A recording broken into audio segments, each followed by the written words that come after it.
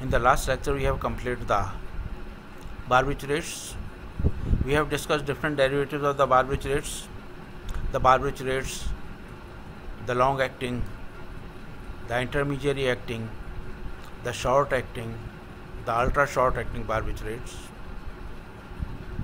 the long acting, intermediary, and short acting barbiturates are generally used as sedative, hypnotic, and anticonvulsive agents, while the ultra short acting barbiturates are the barbiturates which are used for induction of the anesthesia. And in the last lecture, we have discussed more about, we have discussed more those ultra short acting barbiturates or the barbiturates which are used for induction of anesthesia.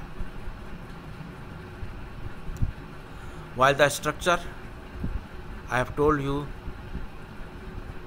all of them have got the same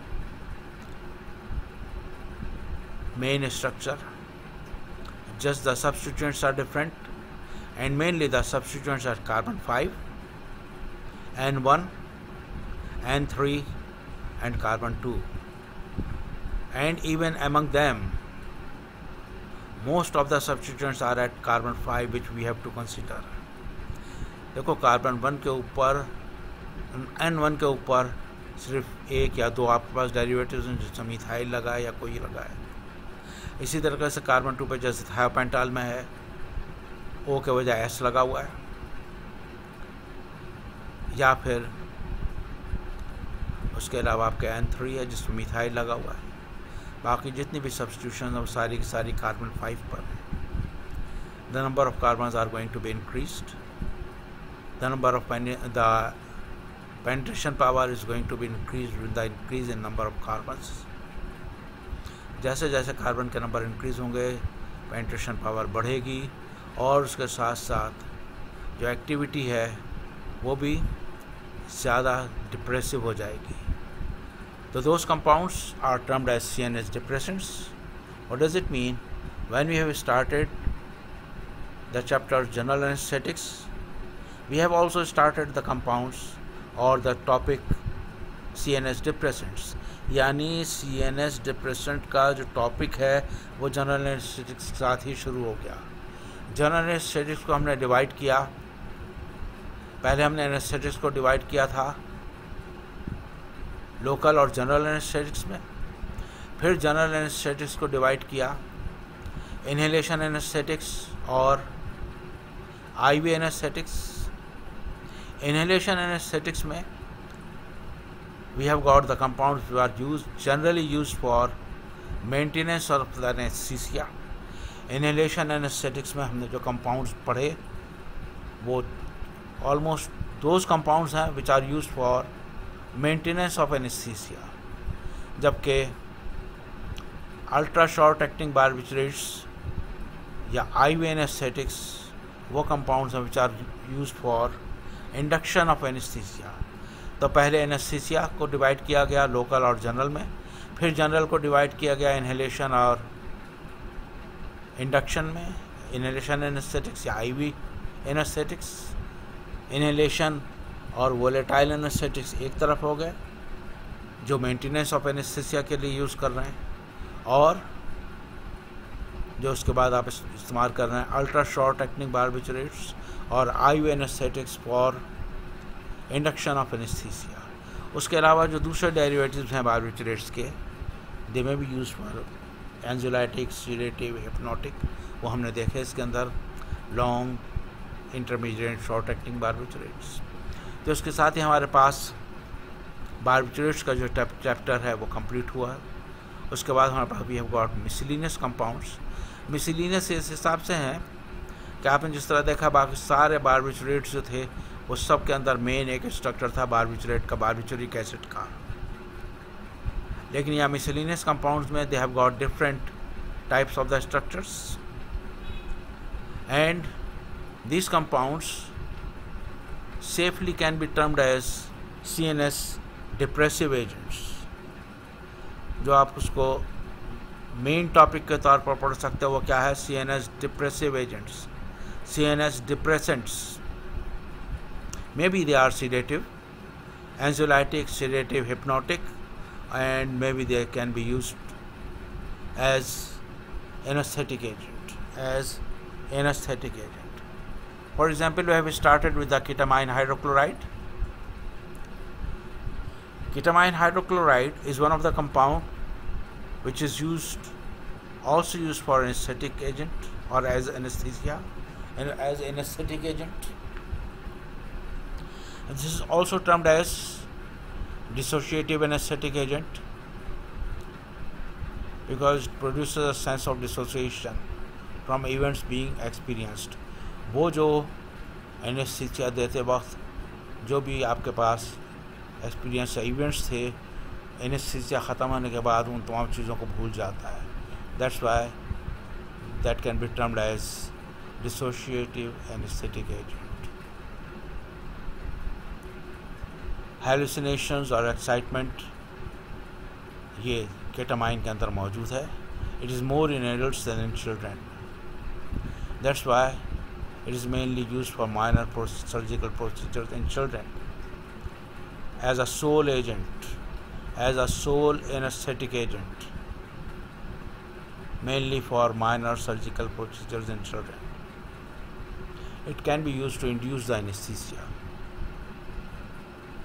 while nitrous oxide can also be used in combination for general to produce general anesthesia. Fentanyl citrate is another compound. Fentanyl is like opioid related to phenylpiperidine. Equal amount of that fentanyl and citric acid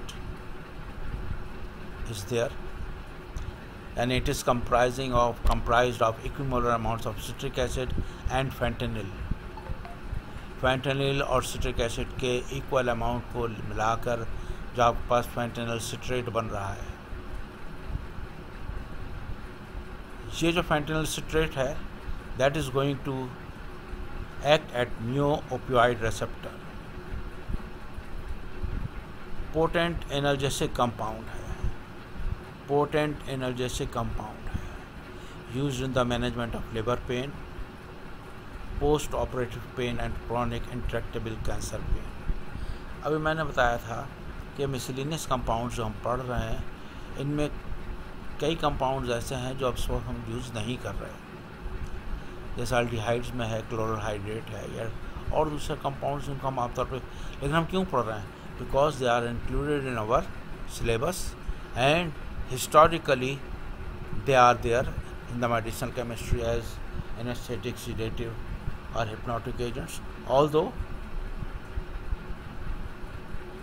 more of more, most of these compounds are not in use, but we have to study th- those ones.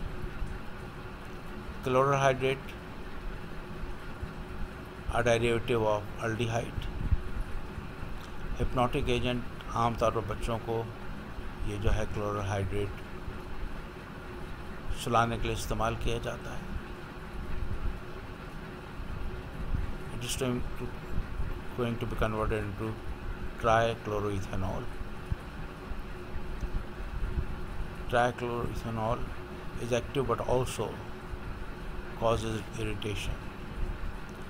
Then we have got triclose, triclopsodium, trichloroethanol ethanol is alcohol जिसको जानते हो कि ethanol जो है ख़ुद उसके अंदर ये प्रॉपर्टीज़ मौजूद हैं।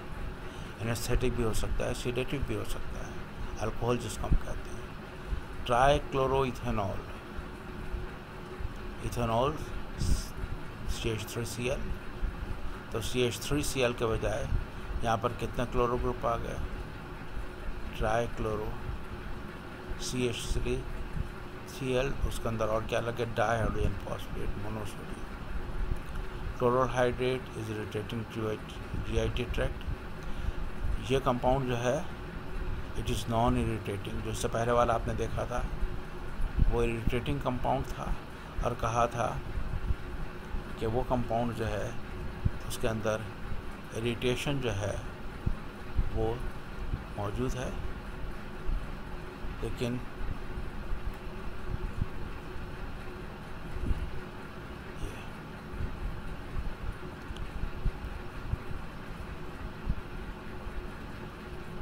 क्लोरोहाइड्रेट के अंदर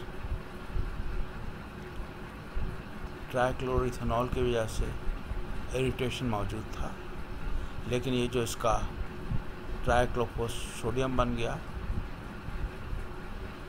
ये ट्राइक्लोपोडियम जो है, इसके अंदर इरिटेटिंग एक्टिविटी जो है कम है।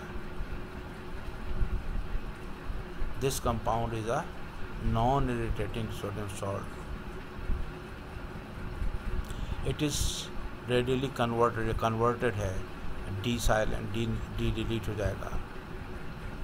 It is rapidly converted to trichloroethanol यानी एक्टिव वही ट्राईक्लोरोइथेनॉल है।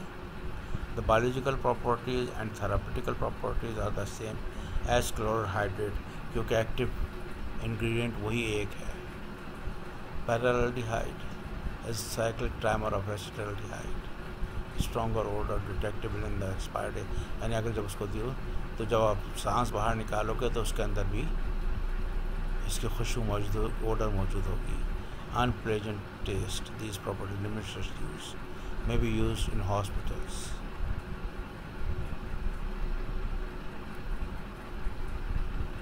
glutethimide is an structure related to barbituric acid barbiturate से इतना स्ट्रक्चर मिलता जुलता है। लेकिन यहाँ पर दूसरा जॉइन था, वो मौजूद नहीं है। It is effective sedative and hypnotic agent hydrophilic hydrophobic in nature what is does it mean lipophilic in nature lipophilic इसके ज़्यादा है बट एब्जॉर्प्शन इज़ रेटिक यानी आप उसको पहले से प्रिडिक्ट नहीं कर सकते कि कितनी देर में इसका एब्जॉर्प्शन होगा और कितना एब्जॉर्प्शन होगा। How much it is going to be absorb लेकिन the compound is enzyme inducer ये आएगा आखिर में enzyme inducer toxic effect in overdose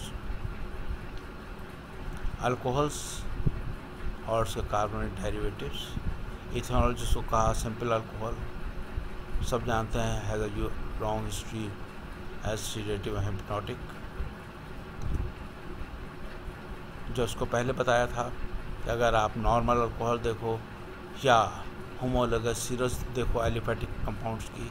जैसे जैसे कार्बन बढ़ेंगे, उसकी एक्टिविटी बढ़ेगी up to eight carbons then after the increase in the number of carbon will not directly proportion to the activity therefore we say activity will be decrease यानी activity decrease as such नहीं हो रही, बल्कि क्या हो रहा है कि एक्टिविटी जो है, उसके मुकाबले में उस तरीके से नहीं बढ़ रही, जितना बढ़ना चाहिए, पहले जितनी बढ़ रही थी। वही चीज़ अभी हम पहले देख चुके हैं ब्रांचिंग ऑफ़ चेंज जो है, वो इंक्रीज लिपोफ्लिसिटी बढ़ा देगी पेंट्रेशन बढ़ा देगी पोटेंसी बढ़ जाएगी। Sharing our not by oxygen replacement of hydrogen in the alkyl group by hydrogen increases the activity अगर अल्काइल के बजाय हाइड्रोजन लग जाए तो एक्टिविटी को इंक्रीज कर देंगे। Carbamylation increase the activity metabolism जो है इसके मुकाबले में रेजिस्टेंट होगा अगेंस्ट मेटाबॉलिज्म मतलब नाम दिए हुए हैं। Ethchlorvynol ethinamate meprobamate they are the examples of this alcohol derivative they have rapid onset and short duration hours meprobamate use as एंटेटिव and एथनोटिक They resemble to barbiturate and benzodiazepines in their action but does not affect GABAergic system. इनका जो mode of action है is different from those ones. They are also used in absence seizure. ये scissor है spelling सही कर लो seizure S E I Z U R E seizure S E I Z U R E seizure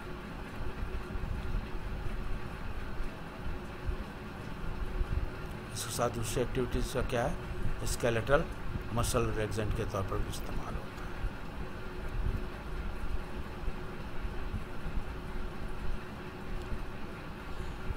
इसके बाद then we have got an other important compound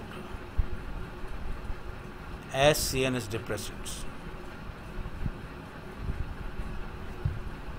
but अब ये जो आपने मिसलिनियस कंपाउंड देखे ना ये तमाम मिसलिनियस कंपाउंड मिलकर भी कोई एक इम्तहान के पॉइंट ऑफ़ व्यू से कोई इसमें कोई शॉर्ट नोट आ सकता है।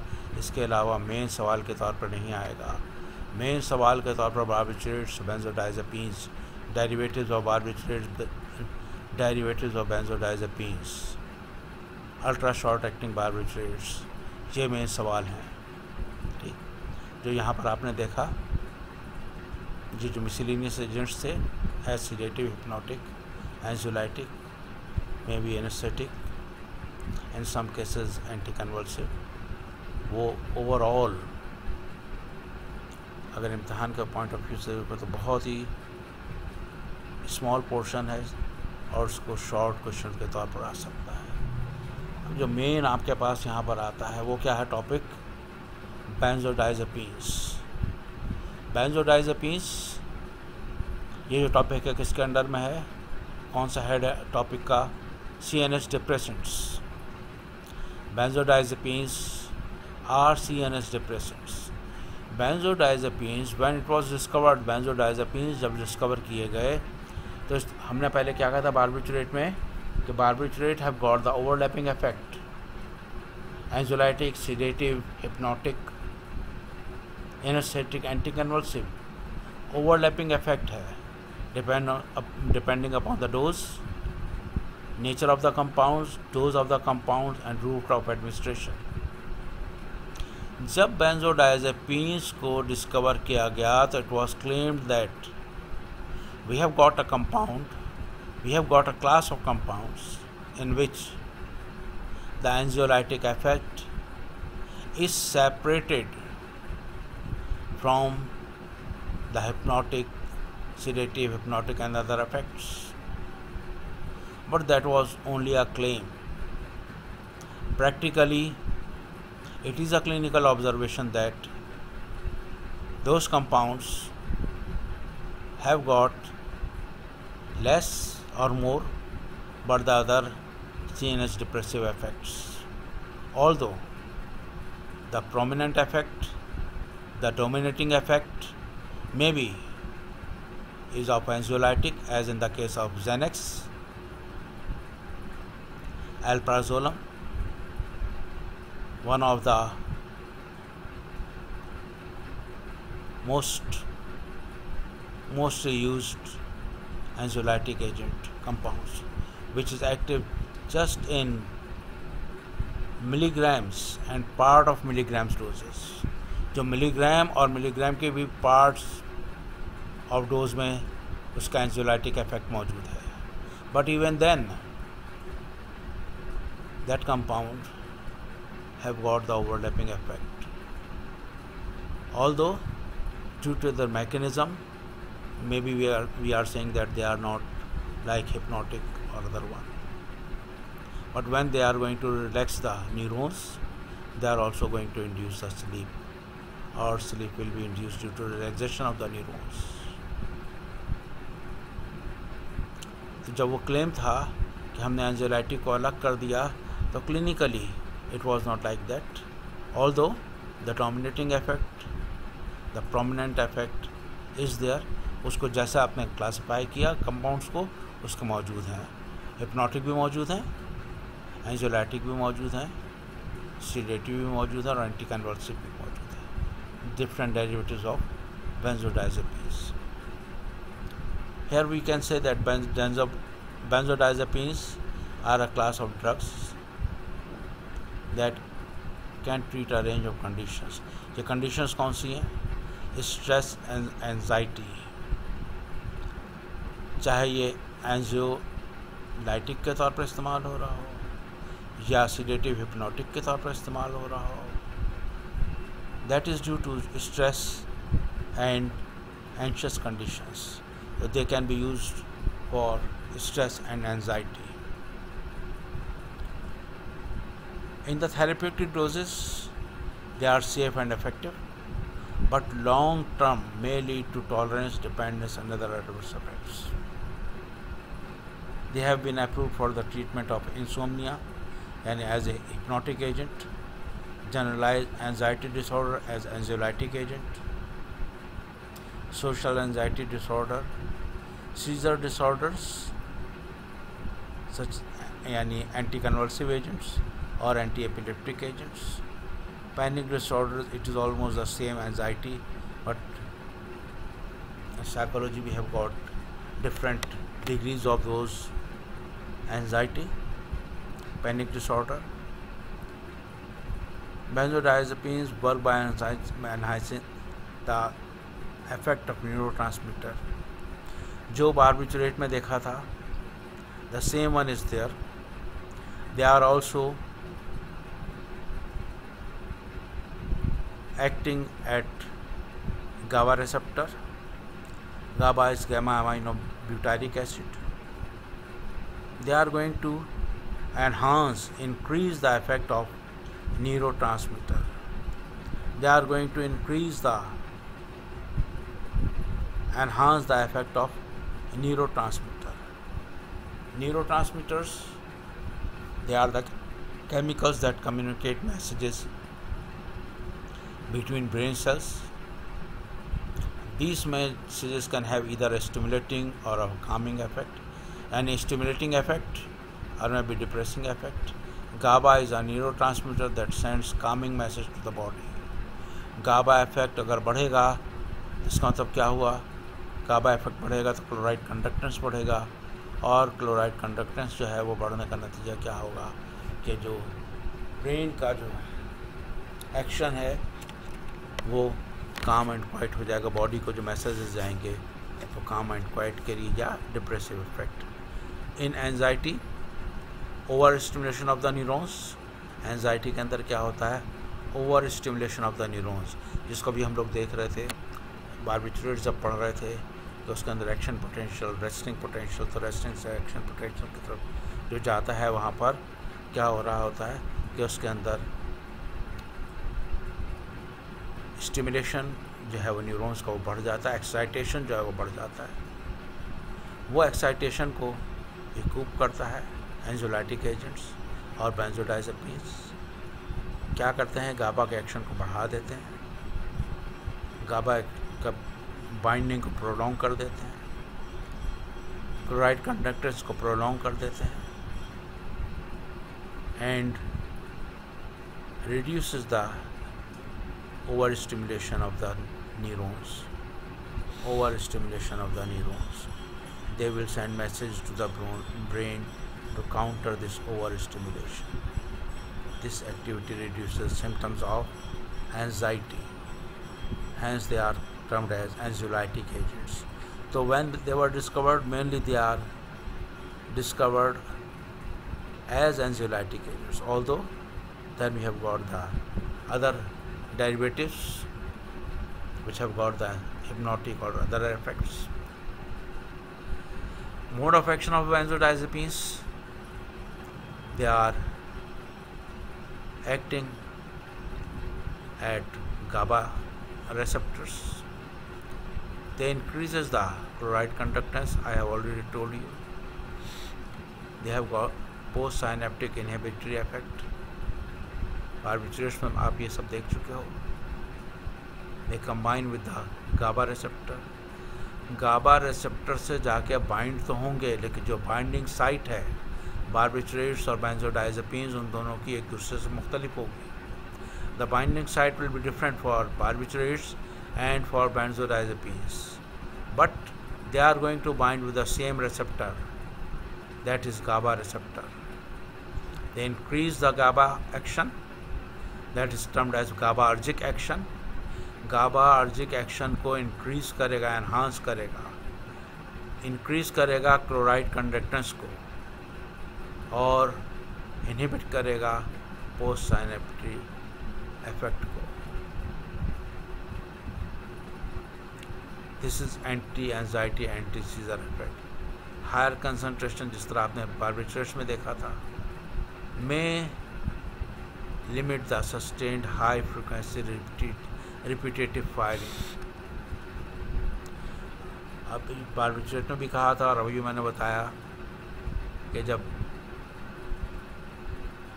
अगर एक्साइटेशन की स्टेट होती है या एनजाइटी होती है या यहाँ पर जो मेन कंसर्न है वो है कन्वर्जेंस तो कन्वर्जेंस में जो न्यूरॉन्स हैं, वो हाइपर एक्टिव हो जाते हैं. जो न्यूरॉन्स की हाइपर एक्टिविटी है, असल में हाइपर एक्टिविटी हम किसको कह रहे हैं? एक्साइटेशन उसकी बढ़ गई. तो वो जो रेस्टिंग पोटेंशियल जो एक्शन पोटेंशियल में आ रहा है तो वहाँ पर उसकी एक्साइटेशन बढ़ गई. जो इलेक्ट्रॉन्स हैं वो तेज़ी से जो है वो फायरिंग उसकी शुरू हो गई, उसको हम कहते हैं frequent repetitive firing sustained high frequency repetitive firing ये जो sustained high repetitive frequency firing है that is the main reason for those convergence convulsive state के लिए. ये मेन वहाँ पे चीज़ है.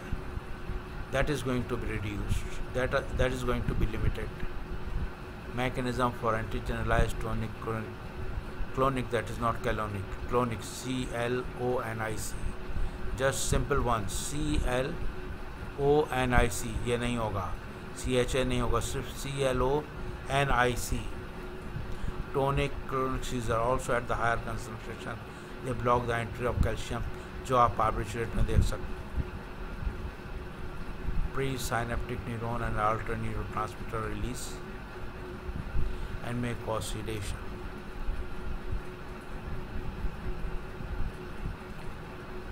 यह एस आर और बेंजोडाइजेपिन्स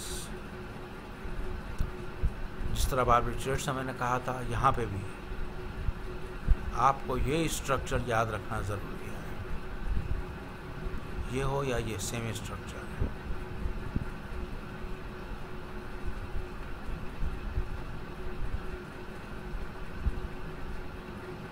इसमें भी आप देख सकते हो। कुछ आर वन यानी एन पे वन पोजिशन पर है, सब टू पे है थ्री पे है फोर पे है फाइव पे है और सेवन पर है। सिक्स एट नाइन फ्री हैं। सिक्स एट नाइन पर कोई सब्सटीट्यूशन नहीं होगी। सेवन पर जो है in most of the cases यहाँ पर क्या होना चाहिए? इलेक्ट्रॉन अट्रैक्टिंग और इलेक्ट्रॉन विड्रॉइंग ग्रुप वो ग्रुप जो इलेक्ट्रॉन को अट्रैक्ट कर सके विड्रॉ कर सके, खींच कर ले जा सके those are electron attracting electron withdrawing groups that is required for the activity अगर यहाँ पर इलेक्ट्रॉन विड्रॉइंग ग्रुप नहीं होगा।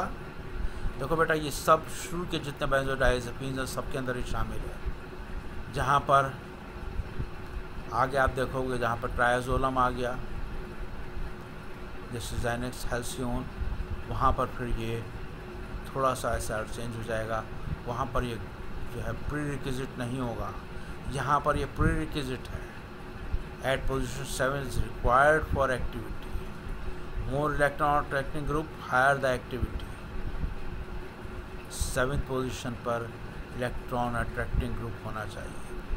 Electron attracting group such as halogens C L B R F और नाइट्रो ग्रुप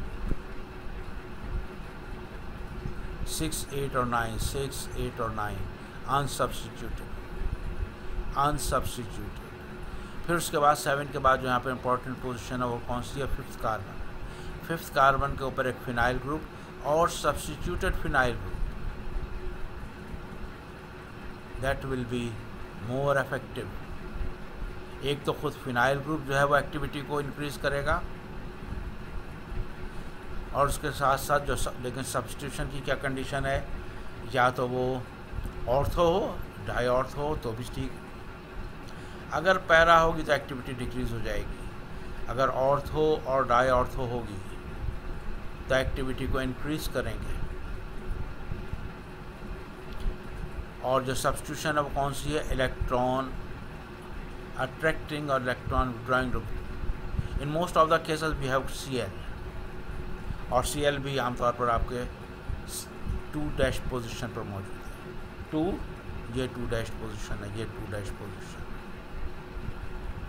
ये टू डैश पोजिशन तो यहाँ पर in most of the cases we have C L और सी एल लगने के नतीजे में यानी ये जो फिफ्थ पोजिशन पर फिनाइल ग्रुप है, उस फिनाइल ग्रुप के ऑर्थो पोजीशन पर अगर electron withdrawing group such as C L is substituted they become more depressive effect penetration बढ़ जाएगा सी एन एस डिप्रेशन बढ़ जाएगा, और those compounds have got the hypnotic activity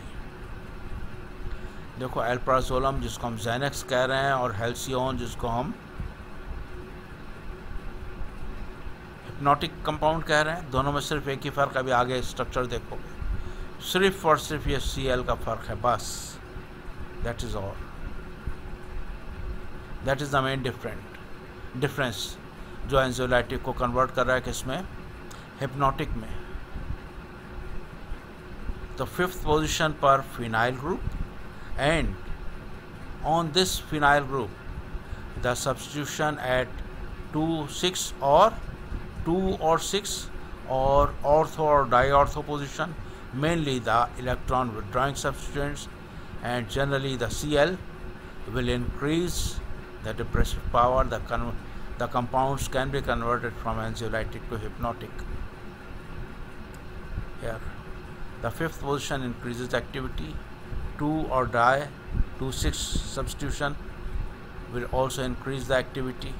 Activity will be increased. Para substitution decreases activity.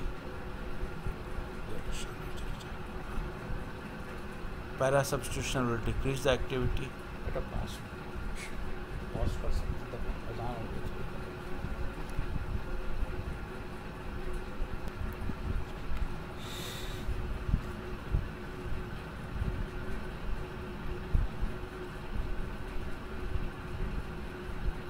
Just by the substitution of phenyl group at the fifth position and substitution on this phenyl group at ortho or diortho position will increase the activity para position या ये dash position पर अगर substitution होगा that will decrease the activity that will decrease the activity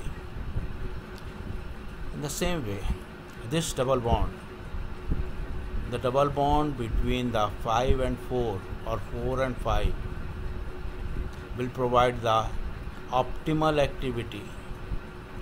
If the double bond is reduced, अगर ये double bond ख़त्म कर दें, यहाँ पर सेचुरेशन हो जाए, और ये डबल बॉन्ड शिफ्ट हो जाए थ्री और फोर्थ पोजीशन पर then the activity will be decrease ये डबल बॉन्ड जो है फोर और फाइव के दरमियान that is that will provide the optimal activity if the bond is removed reduced or shifted to 3 or 4 position the activity will be reduced saturation of the double bond यानी अगर वहाँ saturation हो जाए double bond ख़त्म हो जाए और double bond four और फाइव पोजिशन में थ्री और फोर पर चला जाए एक्टिविटी विल बी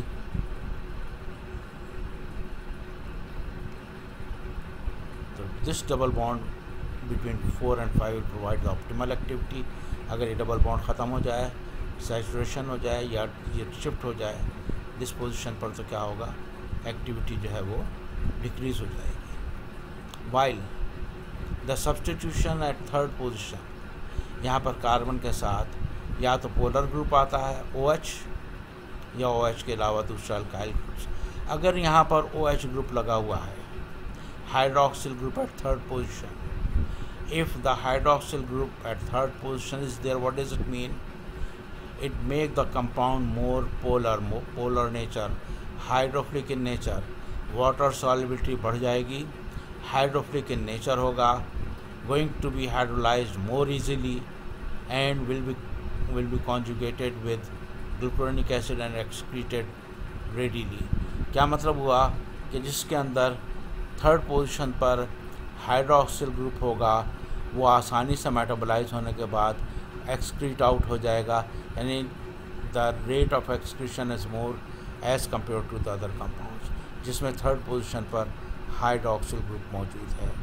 तो थर्ड पोजीशन पर हाइड्रोक्सिल ग्रुप जो है, ये डज नॉट डिक्रीज एक्टिविटी लेकिन थर्ड पोजीशन पर जो है, वो फार्माकोकाइनेटिकली इंपॉर्टेंट है। थर्ड पोजीशन जो होगा, वो नॉन पोलर ग्रुप होगा।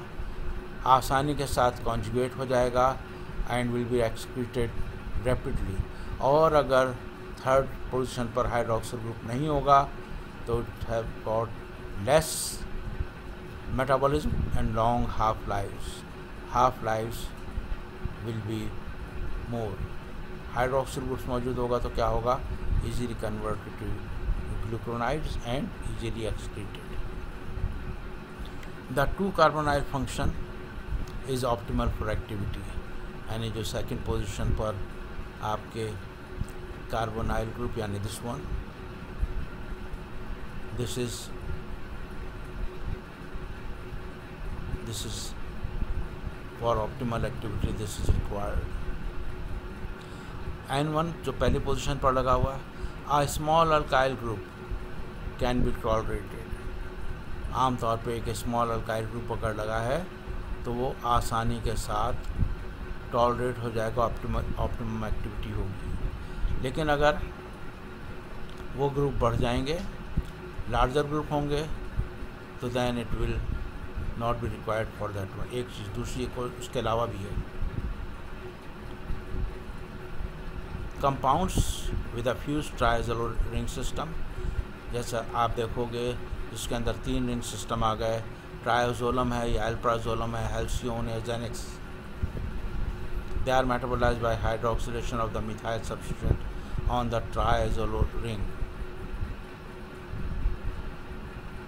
triazolo ring में जो है हाइड्रोक्सीलेशन होगी मिथाइल सब्सटीट्यूएंट की और वो आसानी के साथ कॉन्जुगेट बना लेंगे।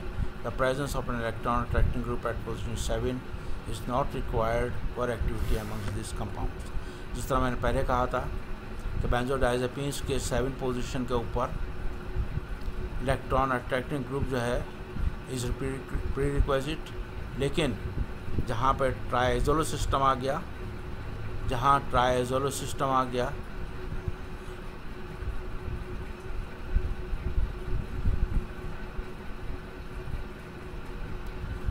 ये ट्राइजोलो सिस्टम जहाँ पर आ गया, तीन। तो यहाँ पर फिर ये इस पोजीशन पर जब, यहाँ पर एट पोजीशन हो गई, यहाँ पर electron attracting group is not a prerequisite बगैर इलेक्ट्रॉन अट्रैक्टिंग ग्रुप के भी ये कंपाउंड एक्टिव होंगे। बगैर इलेक्ट्रॉन अट्रैक्टिंग ग्रुप भी, यानी एल्प्राजोलम जेनेक्स और हेल्सियोन ट्राइजोलम जो है, यहाँ पर ये इलेक्ट्रॉन अट्रैक्टिंग ग्रुप नहीं चाहिए it is not required here electron attracting group is not required here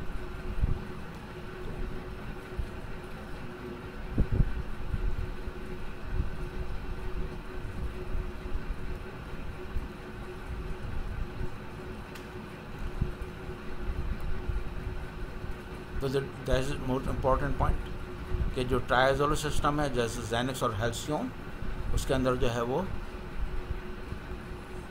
ये इलेक्ट्रॉन अट्रैक्टिंग ग्रुप जो है वो नहीं चाहिए। बेंजोडाइजेपिन के जो डेरिवेटिव्स हैं for example we have got diazepam prazepam halazepam clorazepate फिर बता रहा हूँ इन सब के स्ट्रक्चर्स याद रखना ज़रूरी नहीं। स्ट्रक्चर कौन सा याद रखना? आपको ये। बाकी सबको जो सब्सटीट्यूशन हो रहा है वो याद रखना।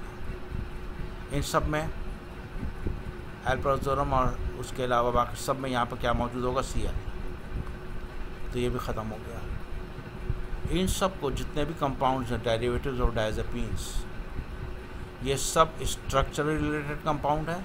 सब में यही मौजूद होगा। सब में यही मौजूद होगा। They are structure related compounds उसके अलावा क्या है? तमाम compounds have got the same metabolic pathway तमाम के तमाम कंपाउंड जो हैं डायजपाम प्रेजपाम हेलोजिपाम क्लोरिजिपेट पहले कन्वर्ट होंगे नॉर्डेजिपैम में, फिर कन्वर्ट हो जाएँगे वो ऑक्साजीपैम में, फिर ऑक्साजीपैम कॉन्जुगेट बना लेंगे ग्लूक्रोनिक एसिड के साथ।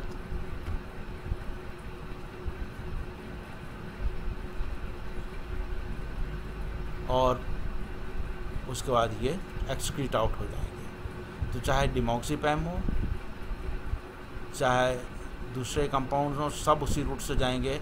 डिमोक्सीपैम नॉर्डाजिपैम ऑक्साजिपैम कॉन्जुगेट या glucuronic acid conjugate glucuronate conjugate और then it will be excreted out अगर इतना भी याद कर लो तो बहुत काफ़ी है। इसका एक क्लास स्ट्रक्चर बेंजोडाइजेपिन का रह गया। इसको लेकर हम जो डेरिवेटिव्स हैं, उसको कंप्लीट कर लेंगे इन नेक्स्ट लेक्चर में। Thank you very much